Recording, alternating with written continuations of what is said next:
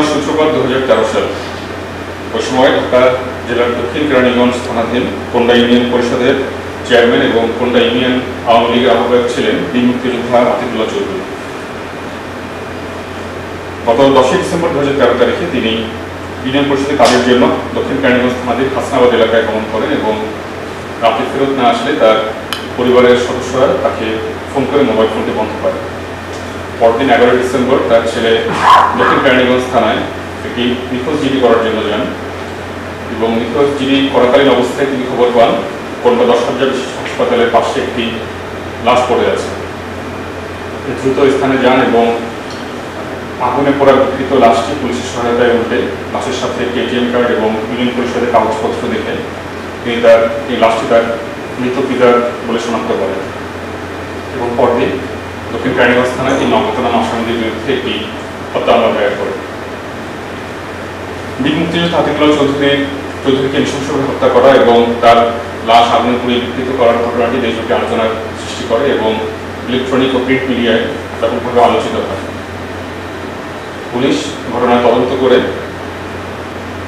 গুলজার এবং তানুসহ আটজনের বিরুদ্ধে অভিযোগপত্র দায়ের করেন এবং অভিযোগের ভিত্তিতে বিজ্ঞ আদালত সাক্ষ্য প্রমাণ নিয়ে সাতজন আসামিকে মৃত্যুদণ্ডে দণ্ডিত করে।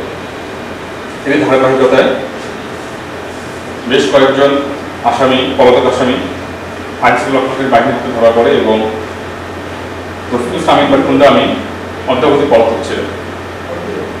র্যাব এগারো টিম দীর্ঘদিন ছায়া তদন্ত করে এই আমিনকে গ্রেফতারের উদ্দেশ্যে এবং সবশেষ গতকাল আঠারোই এপ্রিল র্যাব এগারো এবং র্যাব আটের যৌথ দল, ফরিদপুর হতে এদেরকে এই টুন্ডা আমিনকে গ্রেফতার করতে সক্ষম হয়। প্রাথমিক জিজ্ঞাসাবাদে গ্রেফতারকৃত আসামি হত্যাকাণ্ডের সাথে তার সম্পৃক্ততার কথা স্বীকার করেছেন।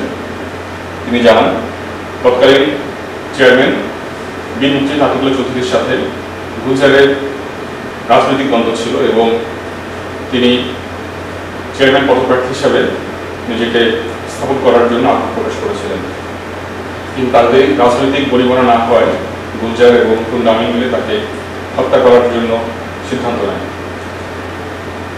তারা সম্পনা মেলে এক নারীকে নিয়োগ করে, যাতে আতিকুল্লাহ চৌধুরী কোথায় গমনাগমন করছে তার প্রতি নজর রাখার জন্য।